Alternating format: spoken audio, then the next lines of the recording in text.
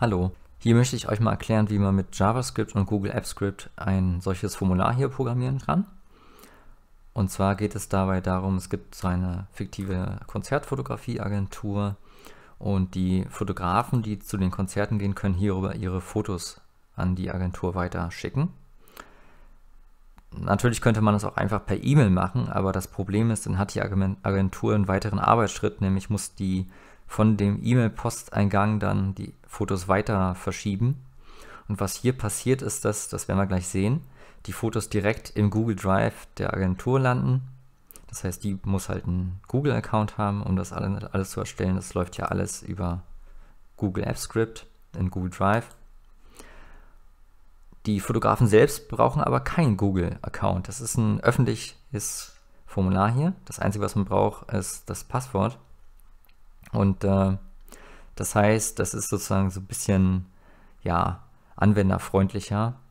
Und es ist auch besser als zum Beispiel WeTransfer, weil da ist es ja so, dass man muss man erstmal das Foto oder die Fotos hochladen, dann muss man warten, dann muss man den Link an die, ja in diesem Fall die Agentur schicken, dann muss die die Fotos wieder runterladen und muss die wiederum die Fotos an den richtigen Ort schicken. Also das sind einfach mehrere Verarbeitungsschritte, die hier wegfallen. Wenn man das Skript richtig einrichtet, dann sind die Fotos genau da, wo sie sein sollen. Und trotzdem müssen die Fotografen sich überhaupt gar nicht drum kümmern. Das ist für die ja sehr anwenderfreundlich. Ich zeige das mal. Also wenn man das Passwort falsch eingibt, dann gibt es eine entsprechende Meldung. Wenn es richtig eingeht, kommt man hier weiter. Dann kann man hier den Namen eingeben.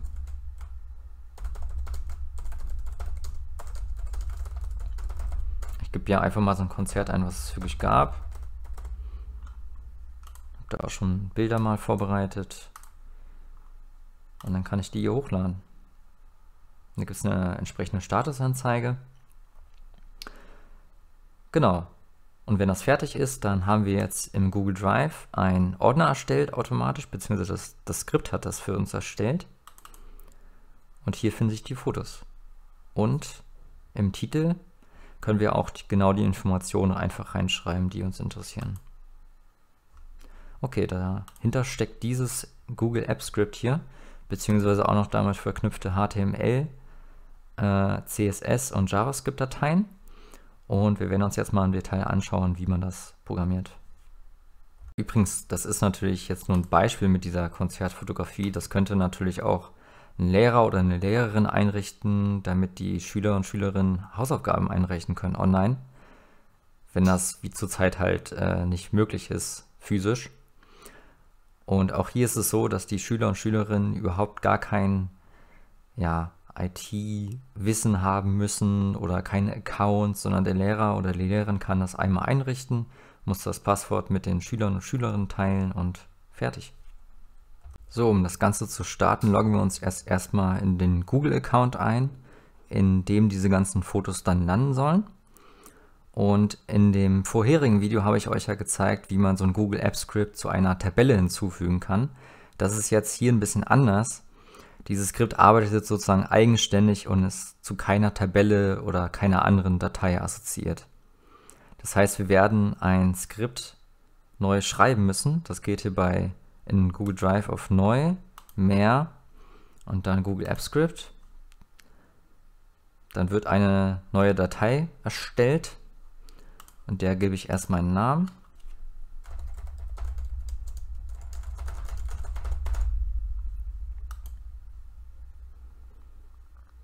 Und ich erhöhe mal die Schriftgröße.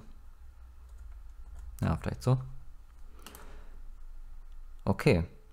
Und das Ganze soll ja in einem Ordner landen und den erstelle ich jetzt mal. Ich erstelle einen neuen Ordner, nenne ihn Upload der Fotos. Und wenn ich jetzt hier raufklicke, dann sehe ich hier oben in der Adresszeile eine ganz lange ID und das ist die ID des Ordners. Die wird auch immer gleich bleiben, egal wie ich diesen Ordner nenne oder wohin ich ihn verschiebe. Und die ID werden wir brauchen. Das heißt, die speichere ich hier schon mal ab in meiner Google Apps Script Datei. Die Syntax ist sehr ähnlich zu JavaScript bloß dass halt noch Dienste von Google, in diesem Fall brauchen wir Google Drive, hinzukommen. das kann ich ja gleich mal zeigen hier. Ich kann jetzt tatsächlich auf diesen Ordner zugreifen mit der Drive App. Drive App und dann werden mir hier schon verschiedene Methoden vorgeschlagen. In diesem Fall will ich einen Ordner bekommen. Get Folder by ID, genau, das brauchen wir. Und jetzt kann ich die ID da eintragen. So, also es gibt eine ausführliche Dokumentation, wenn ich hier Google Apps Script, Drive App eingebe, dann komme ich zu der entsprechenden Dokumentation von dieser Klasse mit allen ihren Methoden. Hier kann man runterscrollen oder auf die entsprechenden Methoden klicken und dann sieht man halt genau, ähm, ja, was es damit auf sich hat. Zum Beispiel get folder by ID, guess the folder give with the given ID. Genau, das, genau das brauchen wir. Was wir zuerst mal machen sollten, wir loggen mal einfach diesen Folder. Äh, sagen wir mal den, den Namen. Und dann können wir nämlich diese Funktion ja ausführen. So, jetzt fragt uns Google, ob wir wirklich auf dieses Google Drive zugreifen möchten mit dem Skript. Also ob wir das dem Skript erlauben möchten. Und weil das keine offizielle Google-App ist, wird man hier mehrmals gefragt und ja, es ist ein bisschen unheimlich, aber letztendlich hier steht er, du weißt, also wenn du genau weißt, was du in diesem Skript hier machst, dann kannst du einfach hier zustimmen.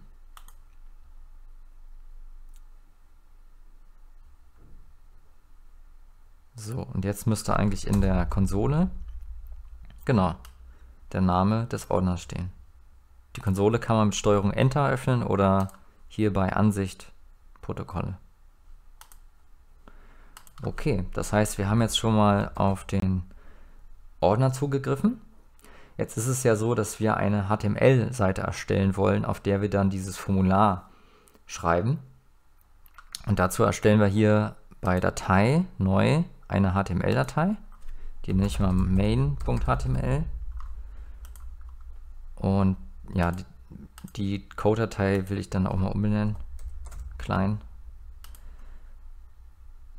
Die Frage ist jetzt, wie können wir sozusagen diesem Skript sagen, dass es die HTML-Datei öffnen soll.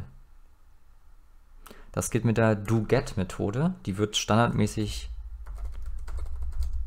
gestartet. Die kriegt einen Request als Variable. Und wir können jetzt den HTML-Service benutzen. Wie gesagt, das ist auch ausführlich dokumentiert in der Google Apps Script Seite. Und zwar create HTML output from file. Und in diesem Fall ist das main. Ups. Okay, und jetzt müssen wir natürlich die HTML-Datei erstmal mit Inhalt befüllen. Also wir, gut, wir haben jetzt schon das Standardgerüst. Das mache ich mal weg. Dann müssen wir die Zeichenkodierung festlegen. Das sind so ein paar Standardsachen. Und im Body schreibe ich jetzt mal Hallo Welt, das klassische.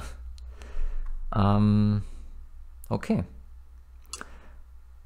Jetzt ist es so, dass wir, um diese HTML-Datei zu sehen, müssen wir auf Veröffentlichen klicken, dann als Web-App einrichten. Also das kann man im Prinzip so lassen. Äh, in diesem Fall, dass sozusagen ich dieses Skript ausführe. Und dann wichtig, wer kann denn darauf zugreifen? Also im Moment würde ich sagen, in diesem Entwicklungsmodus kann man sagen, nur ich selber. Jeder heißt übrigens nicht jeder, sondern jeder oder jede mit einem Google-Account, also da muss man sich einmal anmelden. Und anyone, even anonymous, heißt wirklich jeder. Also auch Leute, die keinen Google-Account haben, können dann über äh, auf diese HTML-Datei zugreifen. Deploy. Und dann haben wir hier so einen ganz langen Link. Und wenn wir den öffnen, haben wir die HTML-Datei. Ähm, diese Meldung hier kriegt man nicht weg übrigens, ist aber auch ganz gut, dass sie da steht, ne? halt um Missbrauch zu verhindern bei äh, Skripten, deren Herkunft jetzt nicht so direkt klar ist.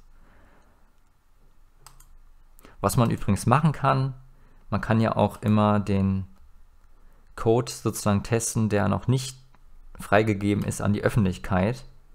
Zum Beispiel, wenn ich jetzt hier in die HTML-Datei schreibe Hallo Welt, Hallo Du, dann ist das bei meiner öffentlichen Version noch nicht vorhanden, aber bei meiner Developer-Version hier, Dev,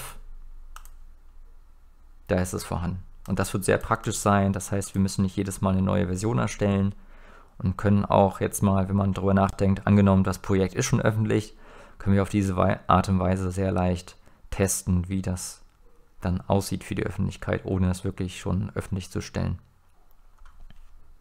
Okay, im nächsten Schritt würde ich sagen, füllen wir mal die HTML-Datei. Also wir haben ja erstmal eine Überschrift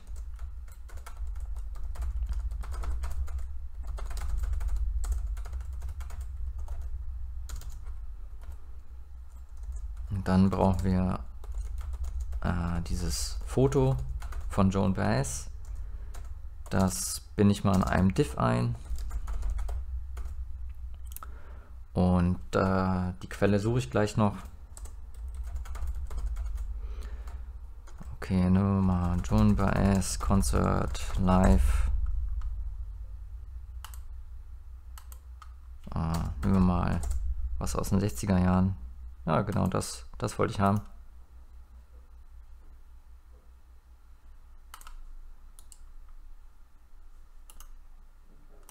Ähm, okay, damals.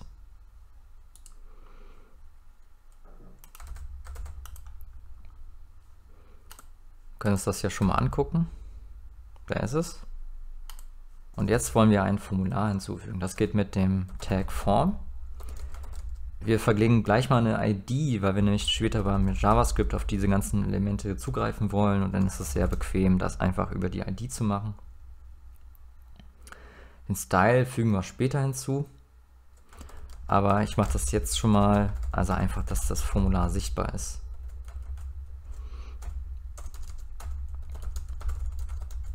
So.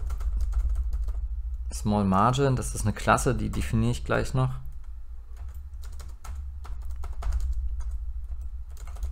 Jetzt wollen wir erstmal das Passwort hinzufügen. Das heißt, es ist ein Inputfeld vom Typ Password. Achso, das muss man natürlich Englisch schreiben. Und die ID soll Password Input sein. Und der Platzhalter, das heißt der Text, der standardmäßig erstmal da drin angezeigt wird, soll Passwort sein. Mit so drei Punkten. Und jetzt schließen wir das Diff ab. Und wir wollen natürlich auch den Login-Button noch hinzufügen. Das heißt, es ist ein Input-Feld vom Typ Button. Geben wir wieder eine eindeutige ID. Hm. So, beim Login-Button, da brauchen wir erstmal einen Standardtext, der angezeigt wird auf dem Button. Das geht mit dem Attribut Value. Und wir wollen halt eine Funktion ausführen, die, die schreibe ich jetzt schon mal rein. Login, Klick. Äh, fürs erste können wir ja hier schon mal ein JavaScript einführen. Login, Klick. Die einfach jetzt mal in die Konsole vom Browser irgendwas schreibt. You, you have clicked me. Ähm, genau. Und dann müssen wir das schließen. Ist natürlich jetzt ein bisschen unschön, dieses Skript hier reinzuschreiben. Ich werde später noch erklären, wie man das in eine einzelne Datei dann auslagern kann. Okay, testen wir das mal. Das sieht schon mal gut aus. Jetzt müssen wir die Konsole öffnen. Super, das funktioniert soweit. So, jetzt haben wir ja in unserer HTML auch das Formular, was am Anfang nicht angezeigt wird, aber was natürlich wichtig ist, über das man dann die Bilder hochladen kann. Das nenne ich mal Upload Form. Und der Trick ist jetzt am Anfang den Style auf Display None zu setzen. Das heißt, es wird einfach nicht angezeigt. Und das schreibe ich jetzt mal schon mal grob. Also die Klasse Small Margin, die definiere ich gleich noch, die heißt einfach nur, dass ich einen kleinen Rand festlege in einer CSS-Datei. Hier kannst du deine Fotos hochladen.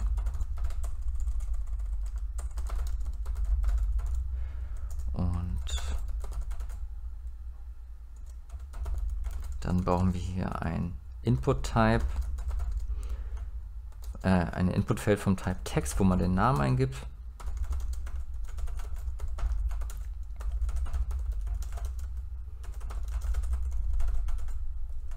Kopiere ich jetzt schon mal, weil das gleich nämlich alles ein bisschen ähnlich sein wird. Oder am besten kopieren wir auch dieses div. Ähm, genau, wir haben ja jetzt auch die Abfrage nach dem Namen des Konzert, Konzerts. Das nennen wir mal Konzert Input oder auf Englisch. Also Name des Konzerts und auch ähm, das Datum.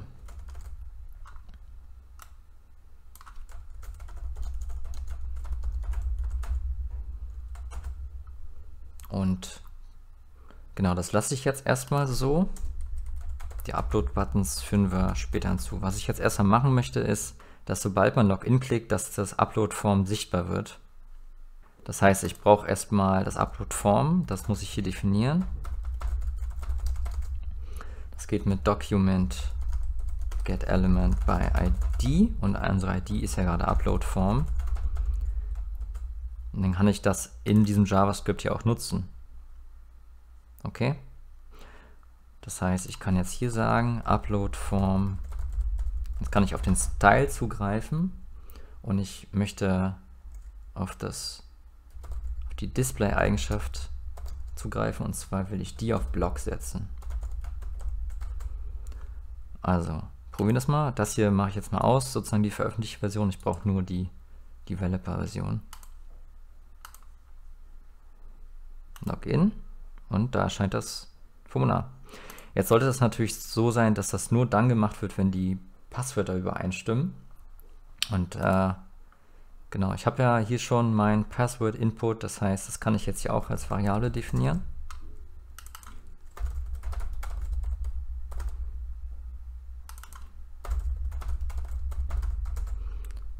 Und ich mache halt eine entsprechende Abfrage. Also ähm, if Pass Password Input Value, das ist dann der String, der eingelesen wird.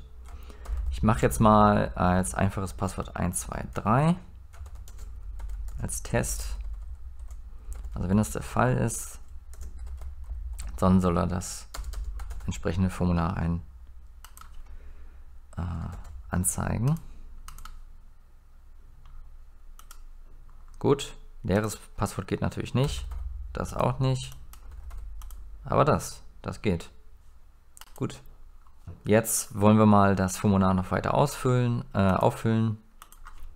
Also wir brauchen ja zum Beispiel noch den Button, mit dem man die Dateien auswählen kann und auch den Button, mit dem man die Dateien dann hochladen kann.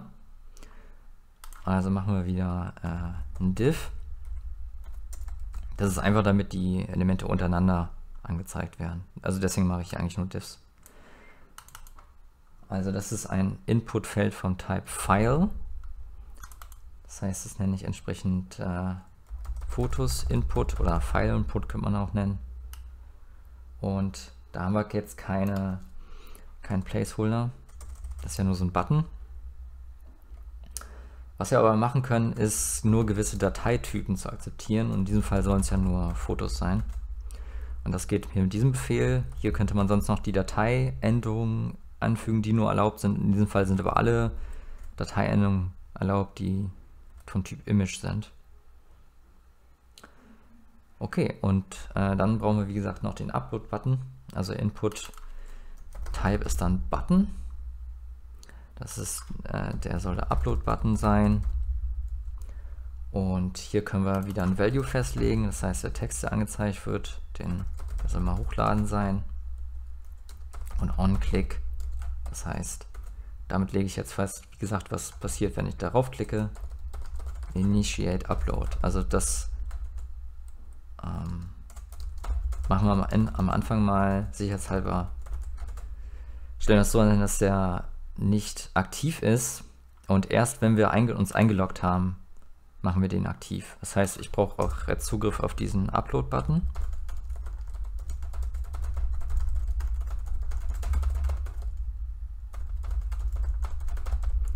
Und erst wenn ich hier im Login bin, Upload-Button, Disable setze ich dann auf False.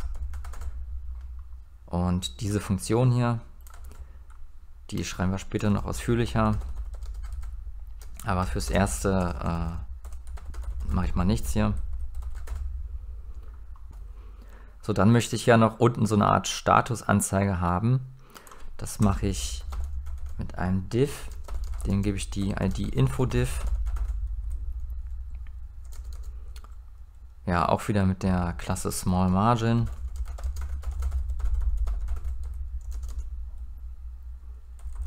Da kommt jetzt gar nichts rein, aber wir schreiben in unserem JavaScript eine Funktion, die einen beliebigen Text als Variable hat und dann entsprechend diesen Text da reinschreibt. Also Function write info text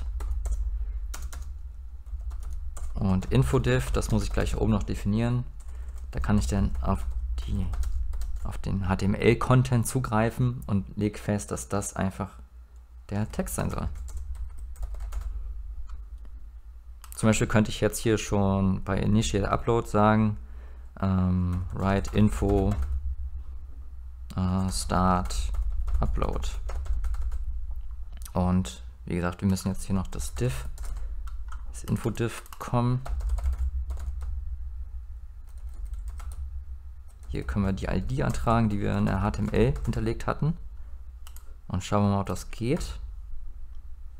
Erst Passwort eingeben und dann hochladen. Super, das funktioniert soweit. So, jetzt sieht das ja hier ziemlich schrecklich aus. Das heißt, wir werden das jetzt mal ordentlich stylen. Fürs erste mache ich das mal hier unten mit Style. Und nur um das zu mal testen, sage ich mal, dass die Überschrift zentriert sein soll. Also Text-Align soll ein Center sein. Okay, gut. Wie gesagt, also ich werde später diese Dateien noch auslagern. Achso, hier, das muss natürlich noch geschlossen werden. So, dann wollen wir, dass diese Diffs alle eine gewisse Breite haben. Also das kann, da kann man jetzt natürlich rumspielen, wie machen, wie man möchte.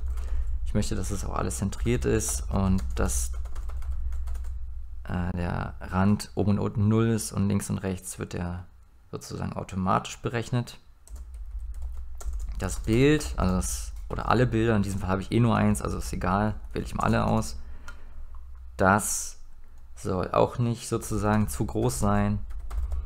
Das soll auch 600 Pixel breit sein.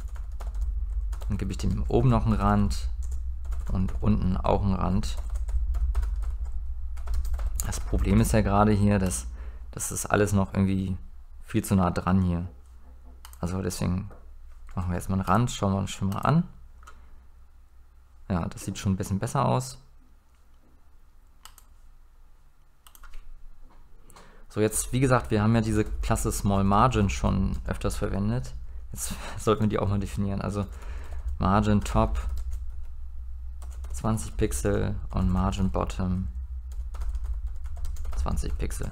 Also einfach damit die Elemente oben und unten so ein bisschen Abstand voneinander haben. Also jetzt kleben die ja quasi hier zusammen. Und wenn ich das jetzt aktualisiere, das sieht schon ein bisschen besser aus. Genau. Dann haben die einen gewissen Abstand voneinander. Die Schriftart gefällt mir auch nicht. Also das heißt, der Body bekommt jetzt erstmal eine Schriftart. Die mal als Verdana fest. Und das ist jetzt die Fallback-Schriftart sozusagen, falls Verdana nicht verfügbar ist, wird Geneva genommen. Und falls die nicht verfügbar ist, wird Sans Serif genommen, das geht immer. Und die Font Size lege ich auch mal fest. Das heißt die Schriftgröße. Gucken wir mal. Ja. Das sieht, finde ich zumindest, schon wesentlich besser aus. Also wie ihr das macht, ist natürlich dann euch überlassen. Okay. So, gehen wir jetzt mal zu den Inputfeldern. Erstmal vom Typ Text, das kann man so festlegen. Also was man wirklich sagen muss, dieser Skript-Editor von Google Apps Script, der ist nicht so toll. Ne? Also es gibt keine Einrückung, wenn ich die Tab-Taste drücke, zumindest bei mir passiert nichts. Äh, es werden keine Klammern automatisch geschlossen und so weiter, was man von Visual Studio Code und anderen Editoren kennt. Das ist ein bisschen frickelig, sagen wir es mal so. Also erstmal sagen wir, dass die Font Size vererbt wird von dem obigen Element, weil zurzeit ist die zu klein. Also, okay, vielleicht brauchen wir das gar nicht. Ich mache es trotzdem. ähm, legen wir mal die Breite fest, weil zurzeit sind die viel zu schmal. Ähm, dann ist es auch noch so, dass die ein bisschen abgerundet werden sollen. Dann wollen wir auch noch einen äh, Rahmen äh, unten haben, damit die ein bisschen Abstand voneinander haben. Genau, und Padding lege ich auch fest, sozusagen, damit äh, sozusagen innere, damit die auch einen inneren Abstand haben.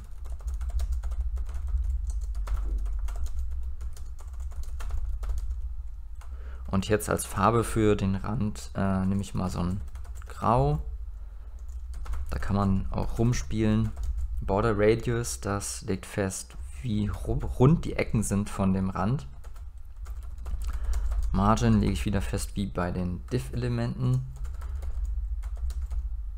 Aber dann ändere ich noch ähm, nachträglich den Rahmen unten.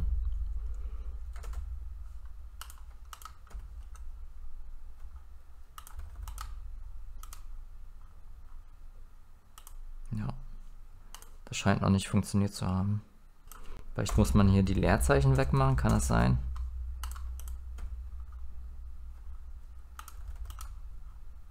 Tatsächlich. Da scheint irgendwas nicht funktionieren, wenn man die Leerzeichen weglässt. Ich denke mal, das killt das hier. Tatsächlich. Okay, das heißt, das sollte direkt da dran stehen. Sonst wird es nicht erkannt. Genau, was ich nicht mag, ist dieses Markieren hier äh, diese Farbe da, das, das kann ich wegmachen mit Outline, None. Ich will auch noch so einen Effekt haben. Und zwar, wenn man jetzt über dieses Inputfeld mit der Maus geht, das geht mit einem Pseudoselektor, Type Text Doppelpunkt Hover, das ist der Hover Pseudoselektor, dann soll der äh, soll die Rahmenfarbe sich ändern also so ein bisschen dunkler werden. Da habe ich jetzt mal diese Farbe hier rausgesucht. Und dann muss ich, ähm, genau, also das habe ich jetzt schon. Das sieht man. Und dann will ich, dass das auch animiert ist. Das geht mit dem Transition Property oder mit der Transition Property hier in dem entsprechenden Input Style. Das heißt, ich muss erstmal sagen, auf, welches, äh, auf welche Eigenschaft soll sich das beziehen, auf den Border. Dann lege ich mal fest, dass das 800 Millisekunden dau dauern soll. Also das kann man halt auch wieder, da kann man mit rumspielen, wie man möchte. Und Ease, das ist eigentlich auch die Standardeinstellung. Das heißt, dass es am Anfang ein bisschen langsamer geht und, und dann sozusagen die volle Geschwindigkeit entfaltet und am Ende wieder ein bisschen abflacht. Das kann ich ja mal zeigen. Genau. Das sieht eigentlich, finde ich zumindest, sehr schön aus. So, und für die Passwörter kopiere ich das jetzt einfach hier mal.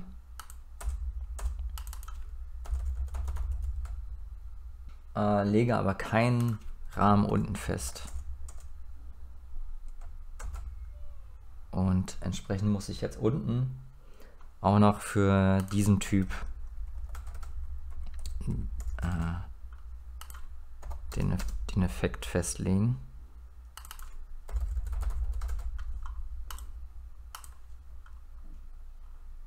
Okay. Das Passwortfeld sollte natürlich nicht so breit sein, weil das Passwort wird, wird ja nie so äh, lang sein. Das heißt, deswegen habe ich hier auch nicht einfach dieselbe Klasse genommen, sondern will das halt noch ein bisschen individueller stylen. Ansonsten sieht das aber gut aus, denke ich. Ja. Das sieht doch schon mal viel besser aus. Wir sind ja noch nicht fertig. Wir müssen ja jetzt zum Beispiel noch den Button stylen. Der sieht da noch furchtbar aus. Äh, also auch der Login-Button und der Hochladen-Button. Okay, also legen wir das hier fest. Input Type Button und genauso, ach so, jetzt hatte ich beinahe wieder diesen Leerzeichen-Fehler gemacht. Input Type File, das ist unser Upload-Button. Also da wollen wir auch wieder keine Outline haben, wenn wir das irgendwie markieren. Die Font Family, hier ist es wirklich wichtig, dass, dass man in Herald schreibt, weil zurzeit ist äh, es ist nicht dieselbe Font Family, glaube ich. Und Font Size Inherit. Dann lege ich den Hintergrund fest.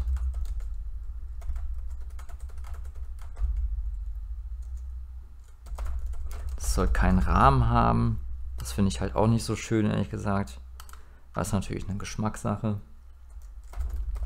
Dann lege ich ein Padding fest, sodass der Text sozusagen nicht direkt an den Rand von dem Button kommt.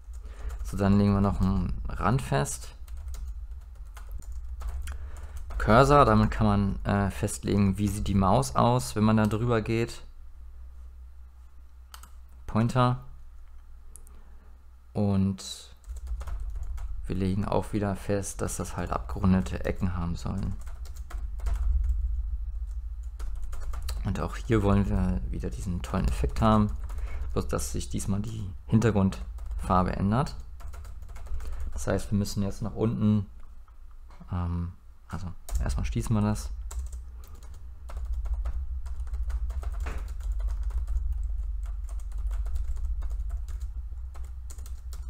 Also hier müssen wir jetzt noch sagen, dass der Background sich dann ändern soll.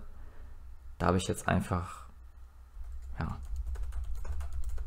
mir diese Farbe überlegt, das ist ein dunkleres Grau und wir machen einfach dasselbe bei dem Pfeil schon mal.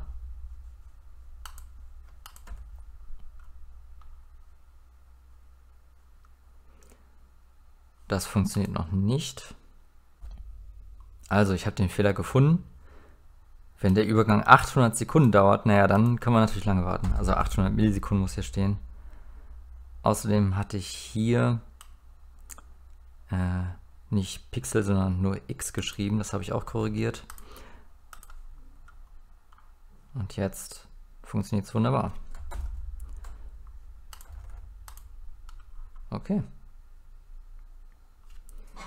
Ich denke, damit sind wir soweit schon mal mit dem Style durch.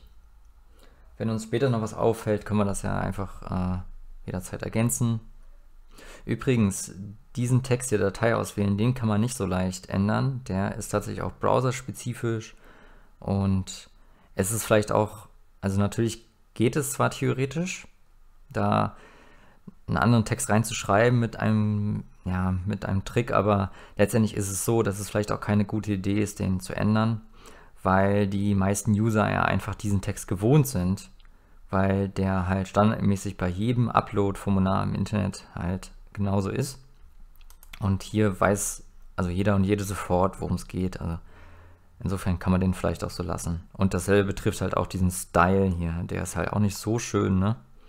Aber gut, so wichtig ist es jetzt auch nicht. Eigentlich soll es ja in diesem Tutorial auch eher um das JavaScript und das Google Apps Script gehen. Das heißt, das schauen wir uns jetzt mal genauer an. Bevor es weitergeht, möchte ich aber erklären, wie man hier die Skripte aus unserer HTML-Datei in eine Datei auslagert. Wenn man das einfach normal machen würde in einem Projekt auf dem Rechner oder beim Webserver, ist es ja so, dass ich einfach eine JavaScript-Datei anlegen kann. Das ist hier ein bisschen anders. Äh, man kann nämlich hier Datei neu keine JavaScript erstellen. Man kann nur eine HTML-Datei erstellen. Die nenne ich jetzt mal js.html, fügt da das Skript ein, was später noch wesentlich länger wird. Deswegen ist es gut, dass wir das jetzt in eine einzelne Datei auslagern. Und jetzt müssen wir der HTML-Datei irgendwie sagen, dass sie das laden soll. Aber das geht nicht über das übliche Kommando. Dafür muss man HTML-Templates benutzen. Ähm, die gibt es halt in Google Apps Script. Das wird hier ausführlich erklärt, wie man das macht. Und das sieht letztendlich so aus. Also im Prinzip am Ende des Buddies. Da muss ich jetzt folgendes schreiben. Include JS. Also so haben wir die Datei benannt. Also das ist die Syntax. Und das wird jetzt nicht funktionieren. Wir müssen nämlich jetzt tatsächlich auch unseren Befehl in unserem Google Apps Script hier ändern, weil das ist keine HTML-Datei mehr, sondern eine Template-Datei. Und der entsprechende Befehl dafür heißt create template vom File. Das heißt, hier kann ich wieder Main angeben. Und da muss ich das noch auswerten. Und hier ist es auch ganz wichtig, dass das JavaScript am Ende des Buddies ist, sonst wird das auch nicht funktionieren. Und bei der Gelegenheit können wir auch noch gleich einen Titel festlegen, damit der hier oben richtig angezeigt wird. Upload der Fotos. Das geht mit diesem Befehl hier. Set Title. Okay, testen wir das. Include is not defined. Okay. Das, lag, das liegt daran, dass wir jetzt natürlich äh, diese Funktion, die wir geschrieben haben, die müssen wir jetzt auch noch definieren in Google Apps Script. Also das ist letztendlich ein äh, Scripted, was das greift hier oder es zieht sich Funktionen aus dieser Skriptdatei. Das heißt, wir müssen jetzt noch eine Funktion schreiben, include FileName. Und da können wir das, den HTML-Service benutzen. Create HTML output from file. File name get content. Okay. Mal schauen. Das sieht besser aus. Ja, und dasselbe machen wir jetzt auch mit unserer Style-Datei. Das heißt, wir gehen hier rein in unsere HTML-Datei, markieren das alles weg damit, machen eine neue Datei, kopieren das da rein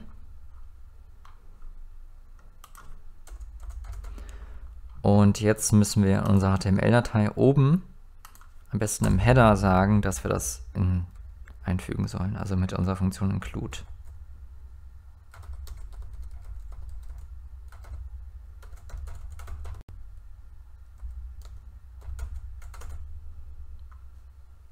Okay. Gut, ist noch richtig gestylt. Jetzt ist es ja so, dass wenn man sich einloggt, dass dieses Login-Formular bestehen bleibt, aber das brauchen wir gar nicht mehr. Das sollte eigentlich einfach ausgeblendet werden. Das können wir machen, indem wir hier erstmal im JavaScript die Variable für das Login-Form bekommen oder definieren. Und sobald wir uns dann eingeloggt haben, greife ich auf das Display-Attribut davon zu und setze das auf None. None heißt einfach, wird nicht angezeigt. Okay, und wenn ich das jetzt hier teste, zack, ist es weg. Das ist viel besser so. Und was ich auch noch gemacht habe, ist hier auch noch Fund Family Inherit und auch Fund Family Inherit beim Passwort, also beim Text und beim Passwortfeld zu machen, weil nämlich tatsächlich da eine andere Schriftart angezeigt worden ist. Das ist jetzt verbessert worden. So, zurück zu unserer Skriptdatei. Jetzt möchten wir mal testweise einen Unterordner von diesem Ordner hier, den wir schon haben, erstellen mit dem Skript. Das geht mit dem Befehl create folder. Also wir müssen erstmal den Folder anwählen und dann Create Folder wird hier schon angeboten. Und dann muss man hier einen String übergeben. Das ist einfach der Name des Unterordners. Ähm so. Das muss ich jetzt in eine Funktion packen. Teste mich. Na, so. Und dann kann ich die hier auswählen und ausführen. Wenn ich das jetzt aktualisiere, dann ist hier der Unterordner erstellt worden. Von dem Skript. Ähm, genau, und jetzt möchten wir eine Funktion hier bauen, die entsprechend unsere Datei hochlädt oder erstmal einen entsprechenden Unterordner dafür erstellt. Das heißt, die nennen wir Create Subfolder und wir übergeben dann später den Namen des Fotografen den Namen des Konzerts und das Datum des Konzerts. Was wir also machen ist, wir erstellen diesen Unterordner und als Name vergeben wir halt diesen String hier. Das heißt, wir verpacken, wir verbinden einfach das Datum mit dem Konzert und mit dem Namen und verbinden die mal so Bindestrichen. Und wir werden später noch die ID brauchen, um damit dann die Dateien da reinzulegen. Also das gehen wir dem für getID und dann geben wir diese ID hier zurück.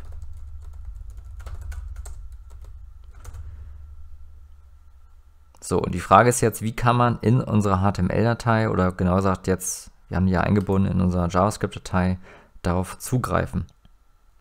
Also bisher haben wir in dieser Funktion hier Initiate Upload lediglich diese, diesen Befehl hier, dass ein Text geschrieben werden soll, den äh, entfernen wir jetzt mal.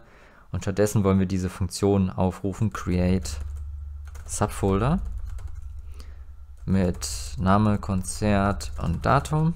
Die müssen wir gleich noch aus den Inputfeldern bekommen. Und das geht jetzt mit dem Befehl google.script.run. Das ist so die allgemeine Syntax. Und dann wird einfach die Funktion aus der entsprechenden Google Apps Script Datei aufgerufen, die hier danach kommt. So, jetzt müssen wir noch ja, Name, Konzert und Datum bekommen. Also müssen wir vorher die entsprechenden Elemente hier definieren. Also wir haben erst einmal Name Input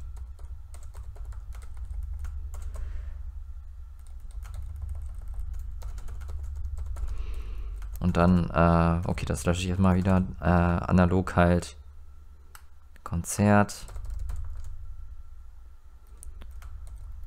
Und auch mit dem Datum.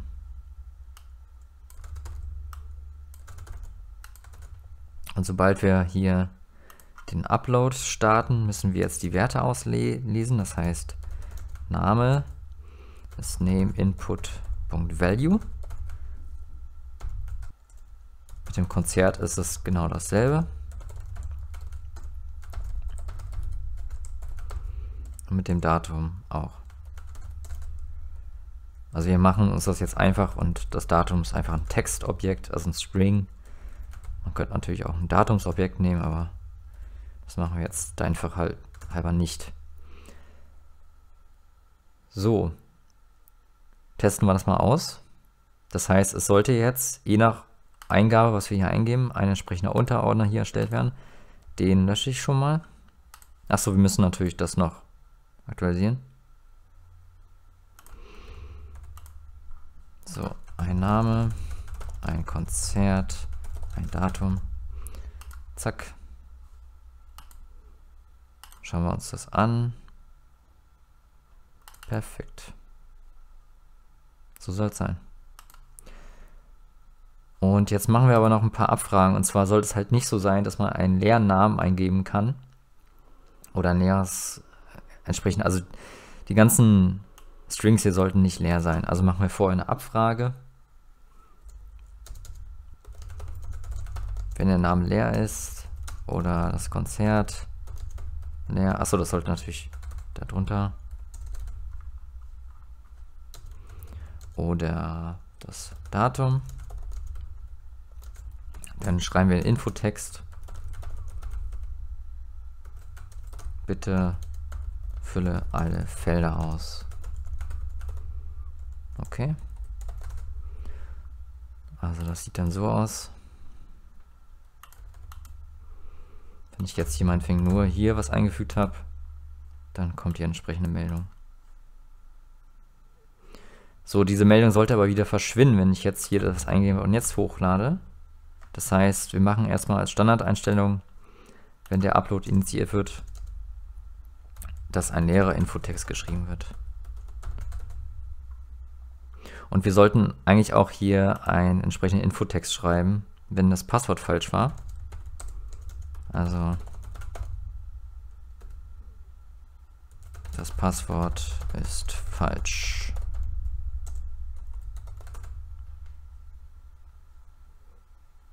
So, warum speichert er das nicht? Braucht ein bisschen länger. Ähm, ich glaube, hier ist auch noch ein Fehler. Genau. Also dieses Infodiff, das ist zurzeit im Formular enthalten. Und es sollte eigentlich außerhalb sein weil wir haben ja das Formular ausgeblendet am Anfang. Aber dieses Infodiff, das benutzen wir jetzt auch zur Anzeigung von, ähm, ja, das, was ich gerade geschrieben habe, also dass das Passwort falsch ist und das wird ja auch am Anfang zu sehen sein. Das heißt, sollte außerhalb des Login, äh, außerhalb des Upload-Formulars sein.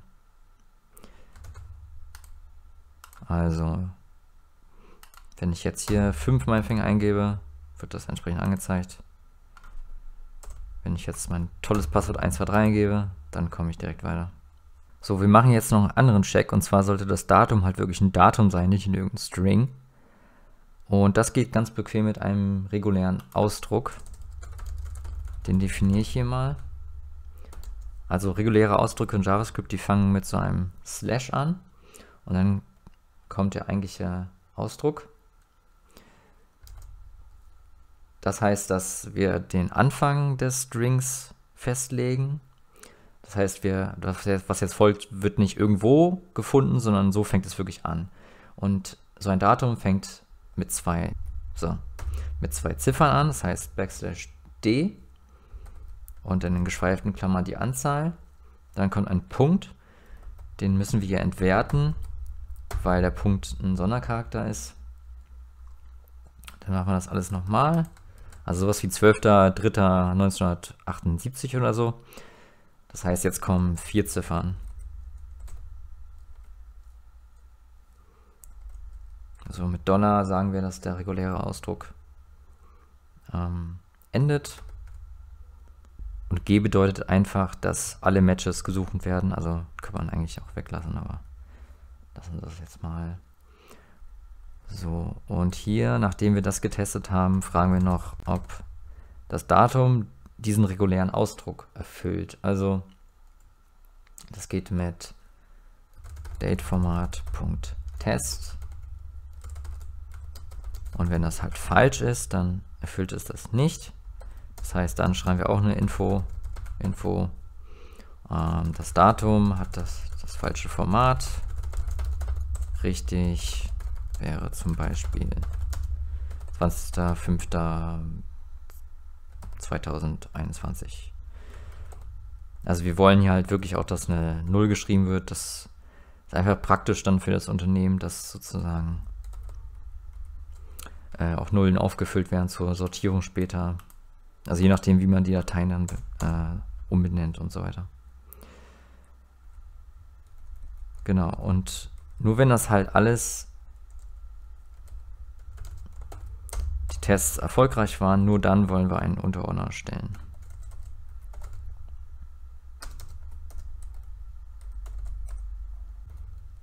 So, jetzt soll es ja nicht nur bei diesem Unterordner bleiben, sondern wir wollen die Fotos hochladen und das entsprechende Element haben wir noch gar nicht definiert. Ich glaube, wir haben das Fotos Input genannt. Genau. Zurzeit ist das auch nur eine Datei. Äh, wir werden uns später darum kümmern, wie man dann mehrere Dateien hochlädt. So. Das heißt, nachdem wir diesen Ordner erstellt haben, wollen wir eine andere Funktion ausführen. Und das geht mit dem Befehl with success handler.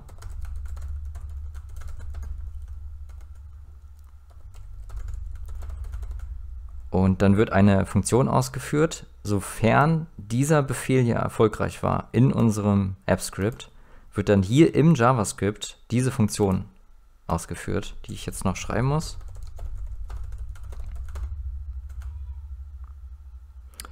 Und zwar bekommt ihr als Parameter das, was diese Funktion zurückgegeben hat. Und das war ja die ID des Unterordners.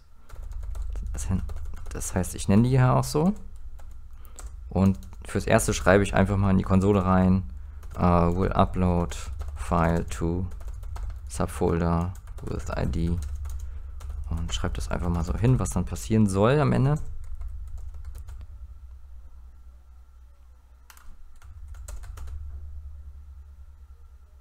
Okay, testen wir das mal.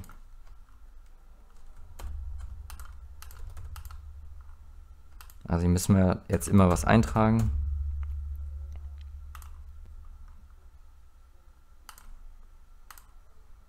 Hochladen. Ach, das Datum hat das falsche Format. Okay, das habe ich mir jetzt selbst eingebrockt. Hier müsste natürlich dann noch eine Statusanzeige kommen, damit man weiß, dass auch was passiert.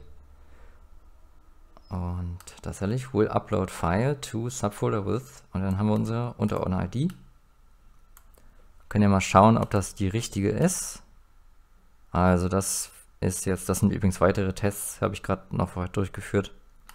Das müsste ja der sein. 1TP9. Scheint richtig zu sein. 1TP9. Genau, also eigentlich wäre besser so ein Leerzeichen noch zu machen. Genau, und jetzt sollten wir also noch in die Info schreiben, dass die Dateien hochgeladen werden. Also write Info Datei wird hochgeladen. So, jetzt können wir auch wieder die Konsole-Ansage hier löschen und fangen jetzt mal an, wirklich die Datei hochzuladen. Dazu brauchen wir erstmal Zugriff auf die Datei, die wir ausgewählt haben.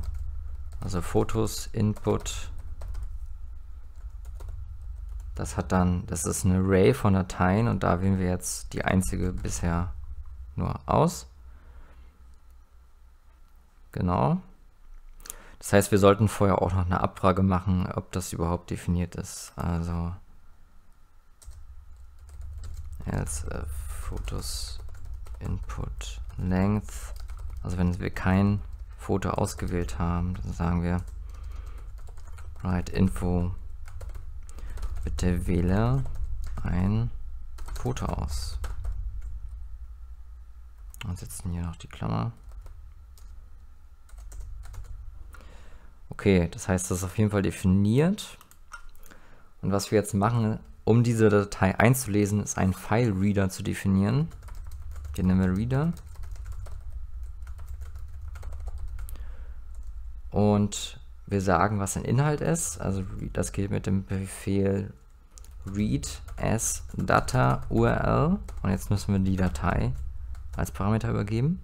Aber vorher legt man halt fest, was passieren soll, wenn das fertig geladen ist. Also es geht mit reader.onload. Also das ist eine Funktion. Äh, hat ein gewisses Event. Den brauchen wir aber gar nicht.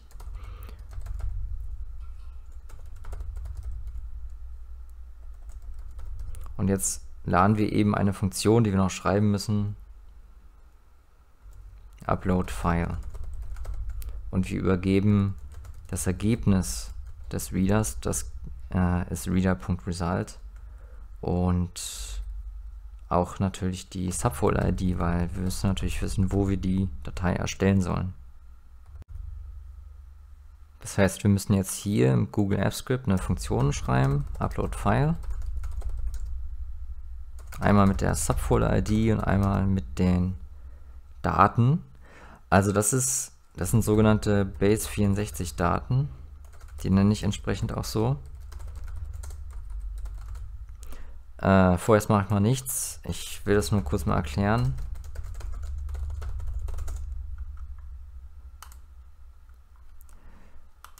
Das ist letztendlich ein Verfahren, wie man Binärdaten, die man ja nicht wirklich lesen kann, in lesbare Zeichenfolgen umwandeln kann und umgekehrt.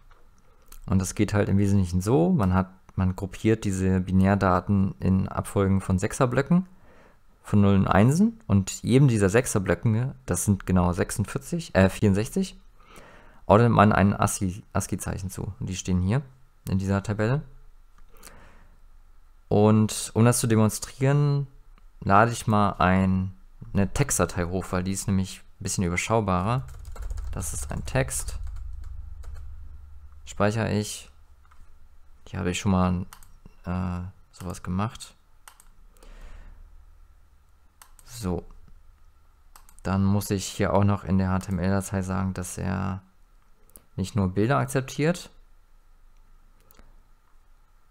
Das habe ich jetzt hier schon mal entfernt. Fürs später füge ich schon mal das Attribut Multiple hinzu. Das bedeutet, dass man auch mehrere Dateien hochladen kann. also das braucht man auf jeden Fall. Und was wir jetzt mal machen, ist hier in unserer JavaScript-Datei das einfach mal, ja, noch nicht diese Funktion auszuführen, die macht eben nichts, sondern einfach mal zu loggen, was da rauskommt. Also das sind die Base64-Daten.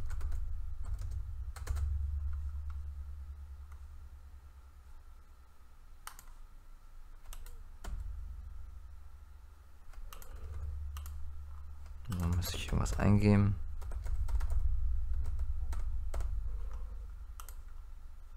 Wir können mal kurz testen, was passiert, wenn ich hier keine Datei auswähle. Dann gibt es eine Fehlermeldung.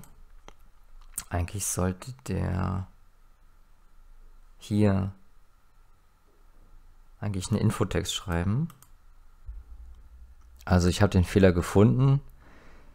Fotos Input ist ja einfach das Feld und die Dateien müsste man also jetzt noch auslesen.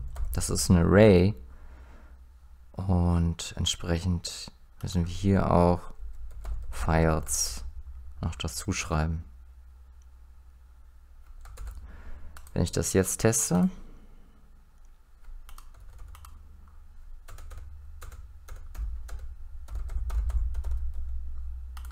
Und also erstmal, wenn ich keine Datei auswähle, dann bekomme, bekomme ich entsprechend den Infotext. Und wenn ich eine Datei auswähle, zum Beispiel die Textdatei, dann sieht man hier, dass etwas passiert und tatsächlich bekomme ich hier etwas zurück kann das ja mal in ein Base 64 Converter eingeben. Oder Dekodierer.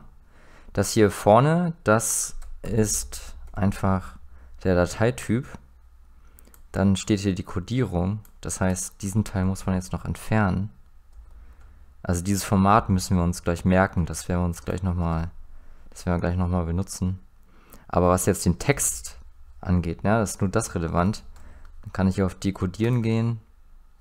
Und tatsächlich ist das das, was ich in die Textdatei geschrieben hatte. Ne?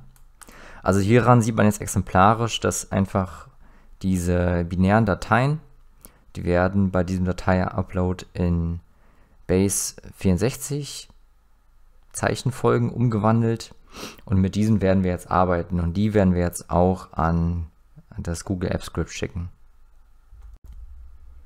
So, das heißt, wir nehmen hier diesen Konsolenbefehl raus und stattdessen starten wir jetzt wirklich die Funktion Upload File hier.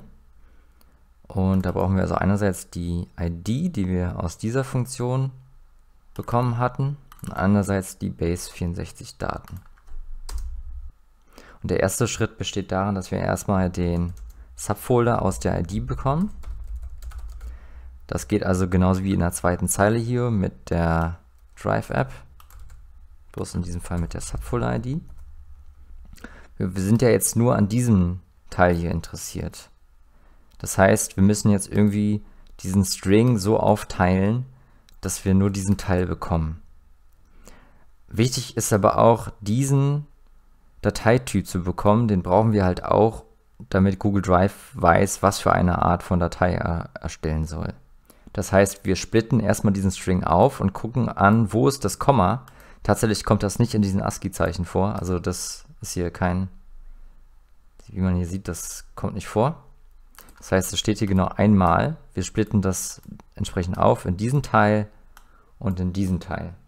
Der Dateityp, der steht dann also hier in diesem vorderen Teil, den wir dann nochmal nach dem Semikolon aufsplitten. Und dann müssen wir noch dieses Data-Doppelpunkt entfernen. Und der restliche Teil von diesem Aussplit, das sind die Daten, die wir brauchen. Okay, das schreiben wir jetzt mal auf. Also, das hier ein bisschen größer. Also, wir splitten das erstmal auf. Das geht mit dem Befehl split. In diesem Fall ist das Zeichen, wie gesagt, das Komma. Das ist ein Array jetzt aus zwei Strings in diesem Fall. Der Dateityp, den bekommen wir jetzt aus dem ersten Teil dieses Splittings, indem wir nochmal splitten nach dem Semikolon, was ich ja vorhin gezeigt habe davon den ersten Teil, ne, in dem zweiten Teil stand ja einfach nur Base 64, also die Codierung. Und jetzt ersetzen wir in diesem Teil das Data durch den leeren String, was bedeutet, dass wir das löschen. Also wir könnten auch einfach einen Substring wählen, aber das ist sozusagen ein bisschen sicherer oder spezifischer oder auch transparenter. Da sieht man halt genau, was man entfernt. So, das ist der Dateityp. Und jetzt müssen wir die Base64-Daten wieder in Binärdateien umwandeln. Also es ist ein bisschen hin und her hier, aber so muss man das leider machen. Das heißt, wir definieren eine Variable ByteCharacters, nennen wir die mal. Da benutzen wir jetzt die Klasse Utilities von Google Apps Script. Da sieht man hier schon, da gibt es Base64 Decode. Also jetzt müssen wir das ja dekodieren. Und wie gesagt, der zweite Teil vom Split ist das, was uns eigentlich interessiert. So, jetzt gibt es nicht nur diese Binärdaten, sondern es gibt auch dieses Konzept eines Blobs. Also, ich rufe mal kurz die Dokumentation auf. Class Blob. Und im Prinzip wird die benutzt, um Dateien in Google Apps Script zu verwenden. Also das gibt es auch in JavaScript auch. Und ähm, wir können jetzt einen neuen Blob erstellen aus diesen Byte Characters. Wieder mit der Utilities-Klasse. Und jetzt können wir den Typ übergeben. Und was wir auch machen möchten, ist den Dateinamen. Den haben wir jetzt, da haben wir uns jetzt noch gar nicht drum gekümmert. Das machen wir gleich noch.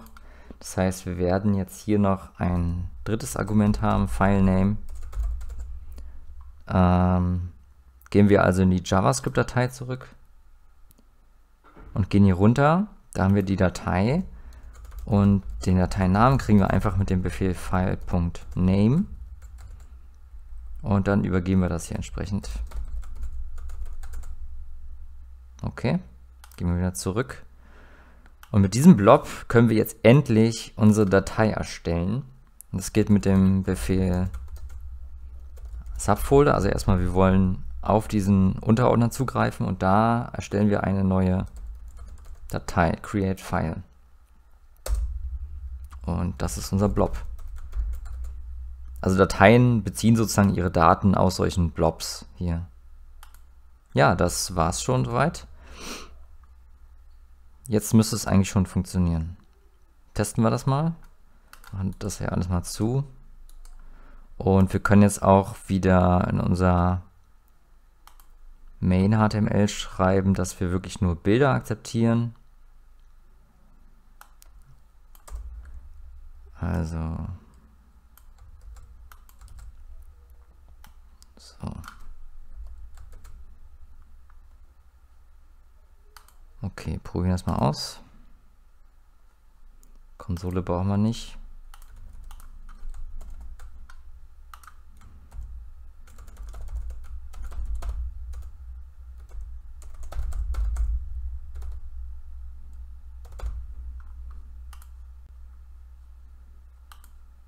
Und wählen mal die Bilder aus. Okay, wir haben jetzt nur ein Bild zum Upload vorbereitet. Datei wird hochgeladen. Wir sollten natürlich noch eine Anzeige machen, wenn es fertig ist. Das äh, kommt als nächstes. Aber erstmal schauen wir uns an, ob überhaupt die Datei angekommen ist. Also das hier sind noch Testordner von vorherigen Versuchen. Und siehe da, es ist da.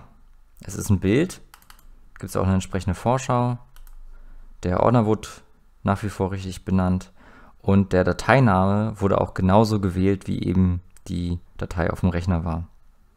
Super, das funktioniert soweit. Das heißt, der nächste Schritt besteht dann darin, mehrere Dateien hochzuladen. Beziehungsweise, was wir erstmal, wie gesagt, machen sollten, ist hier noch ein, eine entsprechende Info für den Nutzer oder die Nutzerin anzufügen, wenn der Upload erfolgreich war. Das geht wieder mit with Success Handler. In diesem Fall ähm, müssen wir jetzt noch neue ähm, Funktion schreiben. Nennen wir die mal ähm, Upload End. Die werden wir jetzt nur temporär benutzen.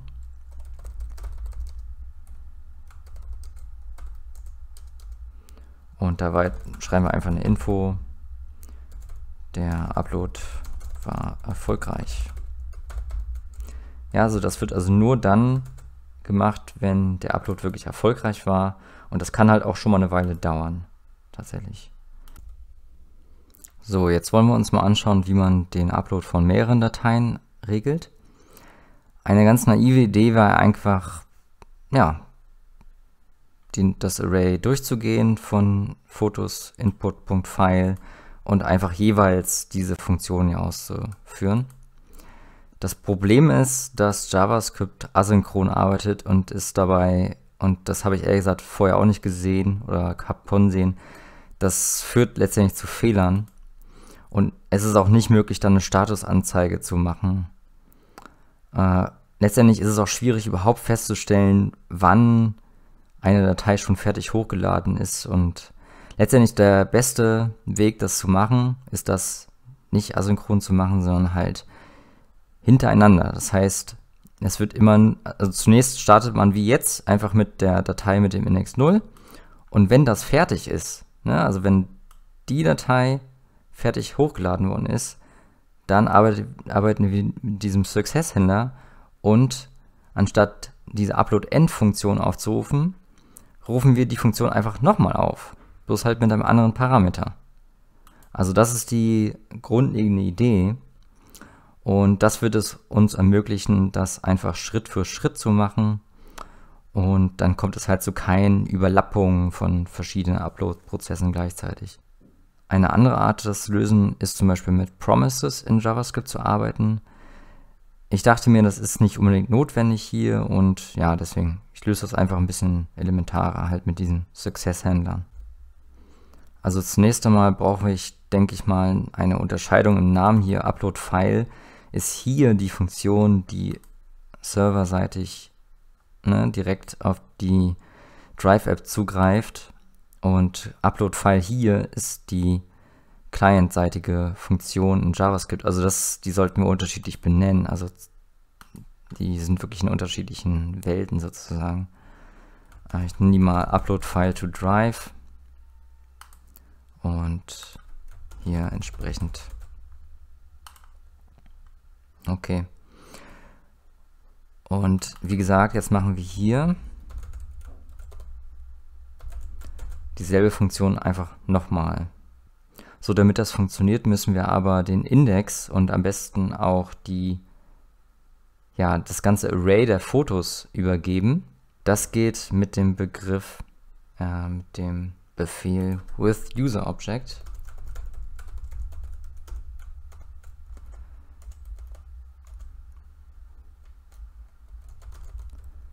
Und ähm, ich will hier mal eine Abkürzung einführen.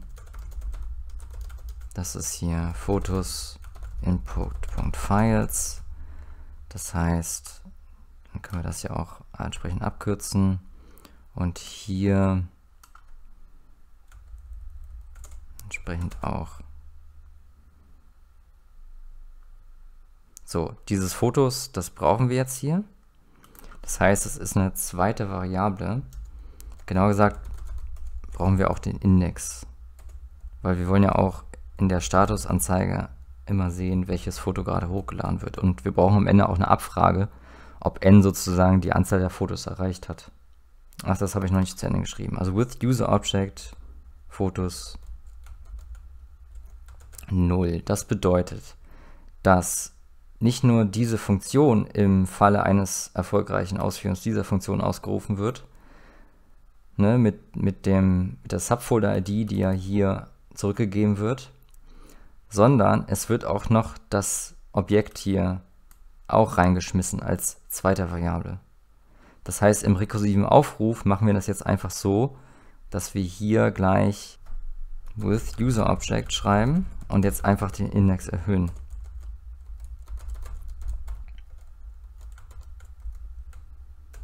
Also natürlich nur, wenn das, wenn der Index passt, also das schreiben wir gleich noch. Aber das ist so die grundlegende Idee. Wir können jetzt hier auch schon mal direkt das hier schreiben. Und ja, erstmal fragen wir jetzt mal ab, wenn n schon die Länge ist, dann, ja gut, dann gibt es sozusagen gar kein Foto mehr mit diesem Index. Das heißt, wir müssen schon durch sein. Das heißt, wir können, das ist sozusagen unsere Upload-End-Funktion. Aber die schreibe ich jetzt hier mal einfach direkt rein. Alle Fotos wurden hochgeladen. Vielen Dank. Also es ist einfach gut, so eine Bestätigung zu haben. Ne? Und ansonsten machen wir das hier alles.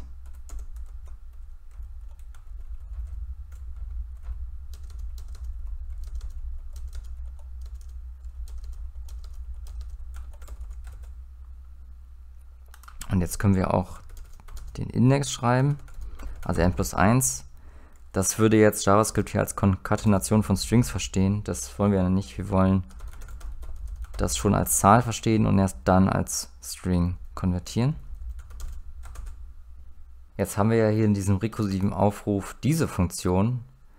Da oben war es ja noch create Subfolder und die gibt halt die Subfolder-ID zurück, die wir hier auch brauchen.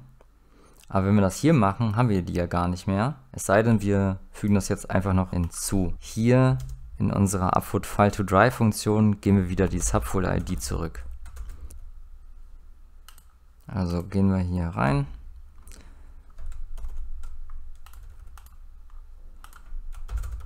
Achso, mal gucken, ob wir noch was haben. Ja, das gehen wir wieder los.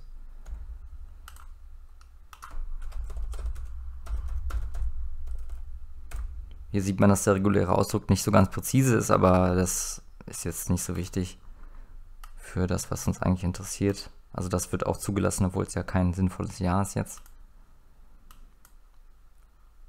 Datei 1 wird hochgeladen, 2, 3. Das sieht doch schon mal gut aus. Ja. So, das war's schon. Ähm, Jetzt gibt es noch so ein paar Feinschliffe, aber im Wesentlichen steht das Formular jetzt schon so. So, das erste, was wir machen, ist hier, bevor es losgeht, machen wir schon mal so eine Art Statusanzeige, dass der Upload vorbereitet wird. Der Upload wird vorbereitet. Also das wird dann tatsächlich noch zu lesen sein, bevor man sieht, Datei 1 wird hochgeladen. Äh, ich weiß gar nicht, ob ich das vorhin gesagt habe, n plus 1 ist natürlich nötig, weil Arrays fangen bei 0 an, aber wir zählen jetzt wahrscheinlich Dateien mit 1 zu Beginn an. Ne? Das heißt, man muss das hier ein bisschen verschieben. So, und außerdem wollen wir, dass, wenn wir auf Upload geklickt haben und ja, alle Daten hier ausgefüllt worden sind, dass dann die ganzen Inputfelder deaktiviert werden. Das heißt, Name Input disabled gleich True Und genauso machen wir das mit den anderen Inputfeldern. Also Konzert, Input, Date, Input, Fotos, Input, dass wir auch nichts mehr nochmal hochladen können, sonst, ja, da müssen wir uns halt neu für anmelden. Und der Upload-Button auch. So, das sieht dann so aus.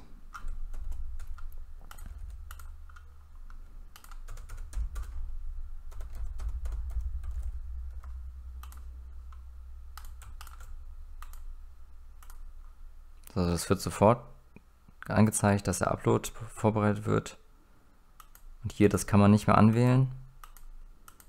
Es gibt zwar noch diese Animation, aber es ist nicht mehr aktiv. Ja. Also das finde ich irgendwie sinnvoll.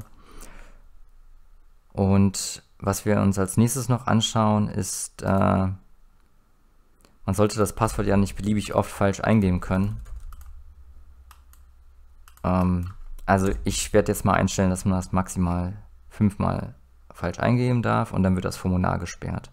Da gehen wir jetzt mal in die JavaScript-Datei rein, da braucht man eine globale Variable für die Anzahl der maximalen Falscheingaben und für die Anzahl der tatsächlich bisher eingegebenen falschen Eingaben vom Passwort. Und jetzt haben wir ja hier unsere Passwortabfrage. Also wenn das richtig ist, dann setzen wir Fails auf 0.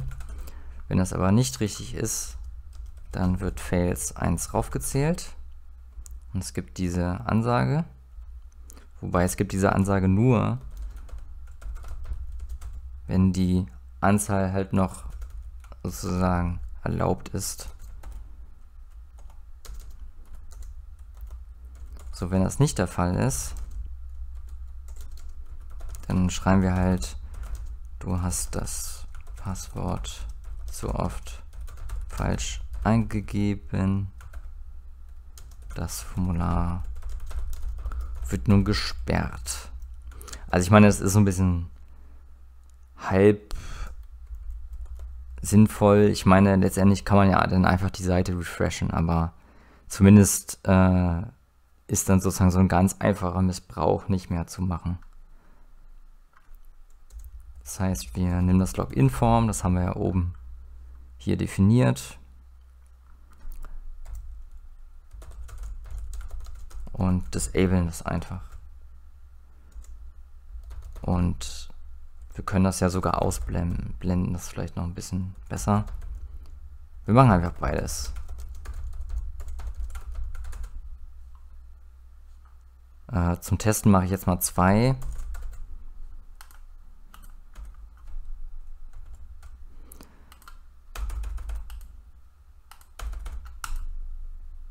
Zweimal falsch eingegeben und es kommt die Meldung.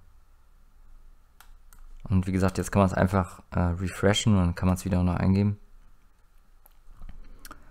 Genau. Es gibt auch eine Möglichkeit, äh, diese Variable sich zu merken und dann würde Refreshen nicht funktionieren. Dann würde die Variable Failed sozusagen bleiben. Aber das mache ich jetzt mal nicht.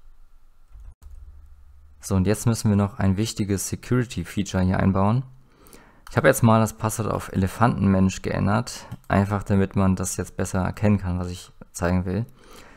Also ich habe ja hier diese Passwortabfrage wirklich in die JavaScript-Datei reingeschrieben.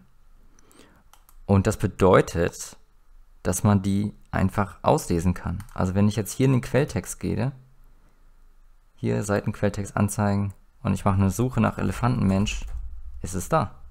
Da.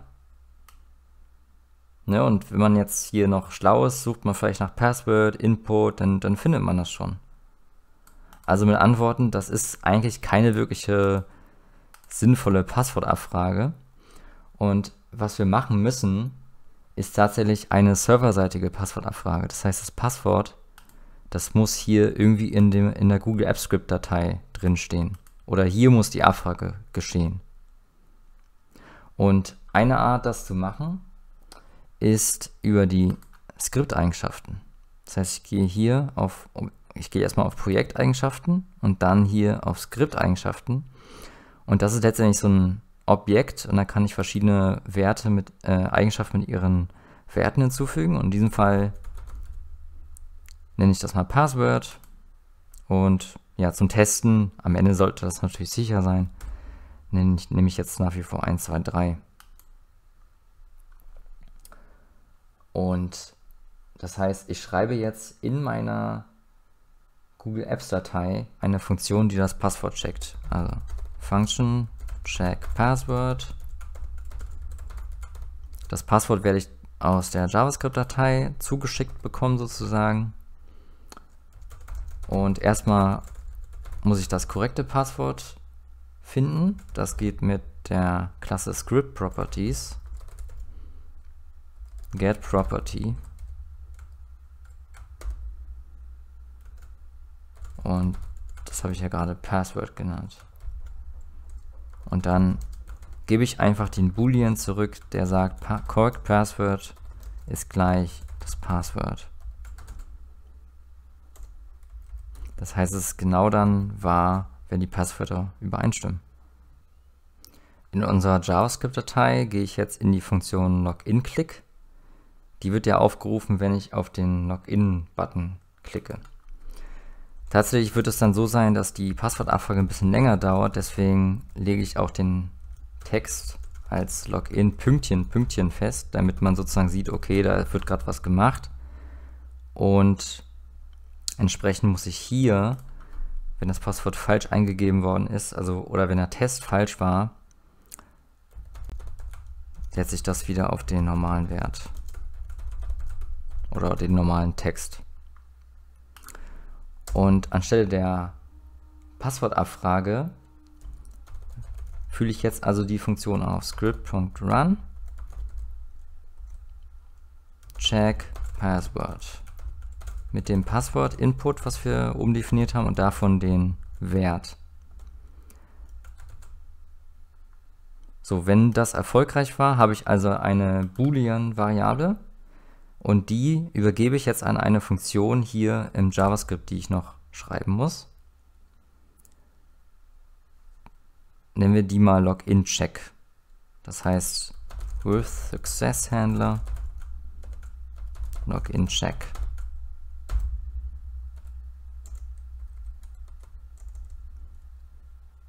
Ja, und diese Funktion, die hat jetzt also als Argument dieses Boolean, das sagt gerade aus, ob die Passwörter gleich sind. Und da können wir jetzt im Prinzip das hier reinschreiben, was wir hier schon haben. Also wir sagen, wir setzen halt aber diese Abfrage hier einfach durch das entsprechende Boolean. So, und das können wir jetzt mal testen.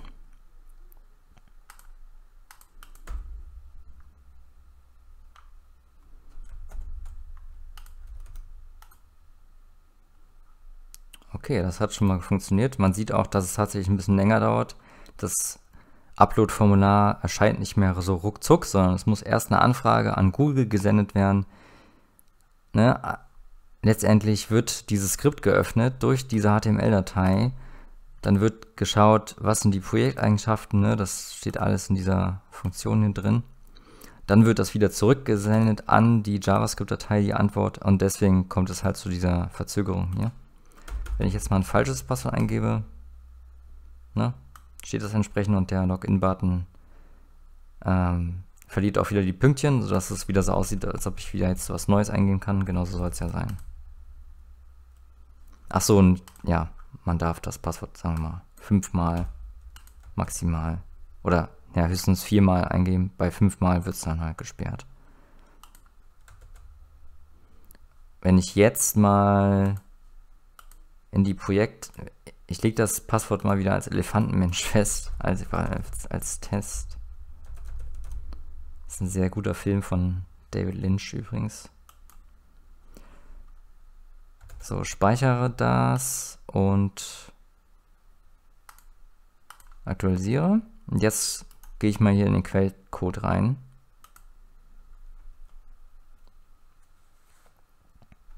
Und suche Elefantenmensch dann finde ich nichts. Das heißt, naja, die offensichtlichste Variante, das Passwort auszulesen, geht schon mal nicht. Und meiner Ansicht nach kann es auch nicht funktionieren, ohne dass man Zugriff auf das Google-Konto hat. Und wenn man Zugriff auf, das Google-Konto hat, dann hat man eh alles sozusagen, also alle Daten und so in dem jeweiligen Unternehmen. Insofern ähm, ist das schon sicher, wenn man das so macht. Mir ist noch eine Kleinigkeit aufgefallen. Wenn man das Passwort falsch eingibt, dann gibt es hier unten die Ansage. Wenn man das jetzt aber richtig eingibt, dann bleibt das hier noch stehen. Das ist natürlich falsch. Das heißt, hier, wenn unsere Passwörter gleich sind, schreiben wir als Info einfach den näheren String. Und dann verschwindet die entsprechende Ansage hier. So, und der letzte Schritt besteht jetzt letztendlich darin, dieses Projekt zu veröffentlichen. Zurzeit ist es so, das sieht man auch hier an diesem Kürzel, das ist nur die Entwickleransicht und das wird auch nicht in einem Inkognito-Fenster funktionieren, also insbesondere nicht für andere Nutzer und Nutzerinnen. Und um das zu machen, gehe ich hier auf Veröffentlichen im Skript, als Web-App einrichten, was ich ja schon ganz am Anfang einmal gemacht habe. Und ich muss hier neu auswählen execute as me, das ist richtig. Das bedeutet, dass das in meinem Google Drive Account ja, passiert und sonst würden ja die IDs auch alle gar nicht klappen. Und jetzt stelle ich auch tatsächlich an, dass das jeder und jede Person nutzen kann.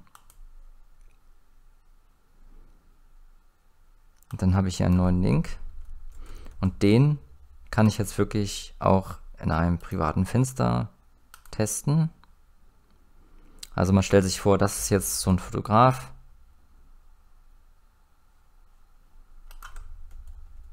Der bekommt das hier.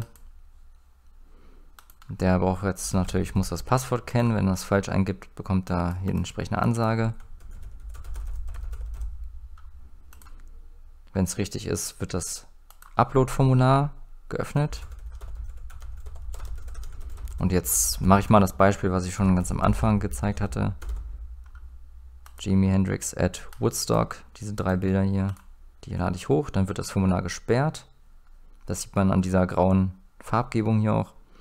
Dann habe ich eine Statusanzeige und wenn alle Fotos fertig hochgeladen worden sind, dann sieht jetzt ne, der oder die Erstellerin dieses Skripters in dem Google Drive.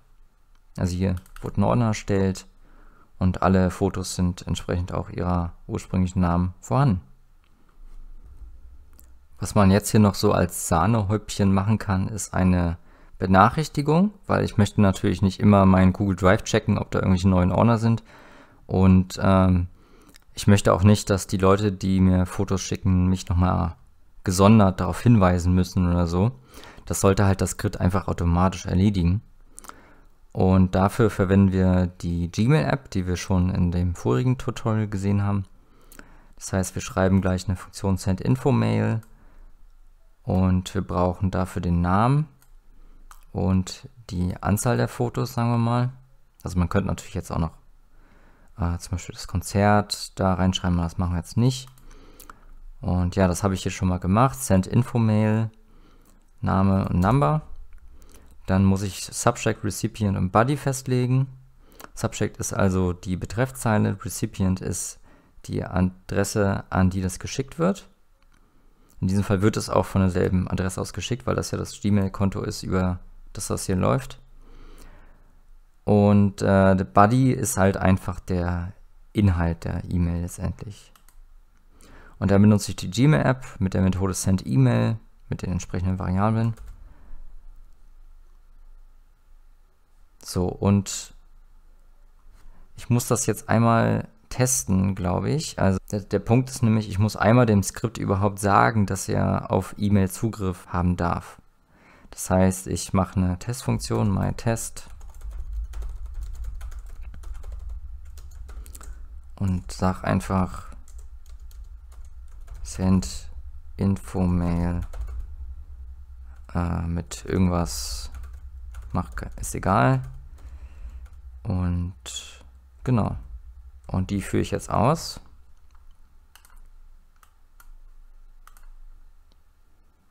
Und dann kommt genau diese Autorisierungsfrage und da muss ich jetzt einmal sagen, dass, dass das Skript das alles darf.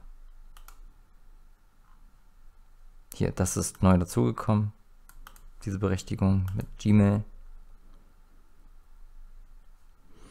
Wenn ich jetzt in meinen Mail-Owner gehe,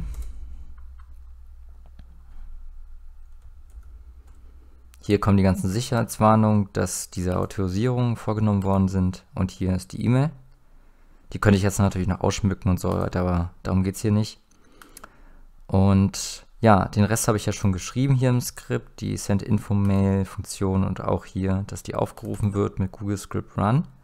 Also ich habe hier auch schon Dateien ausgewählt und das alles ausgefüllt. Und wenn der Upload vollständig ist, sollte nicht nur ein Ordner erstellt worden sein, sondern auch eine entsprechende Mail an mich geschickt worden sein. Und da ist sie, neuer Upload.